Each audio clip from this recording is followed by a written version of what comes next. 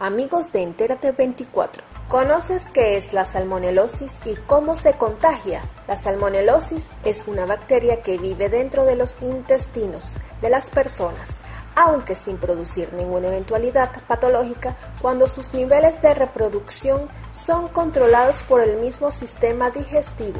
El problema surge cuando se ingieren alimentos contaminados y activa una reproducción exponencial de la bacteria, la cual puede afectar notoriamente la salud intestinal de sus portadores. La salmonelosis se contagia al consumir alimentos elaborados con huevo crudo, así como la ingesta de carne fresca de aves y res en estado de descomposición.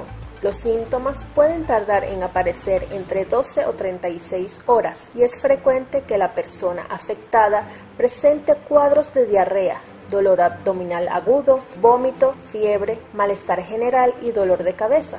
Para ampliar esta y otras informaciones visita enterate24.com y síguenos en nuestra red social TikTok Enterate24 Veracidad en la información.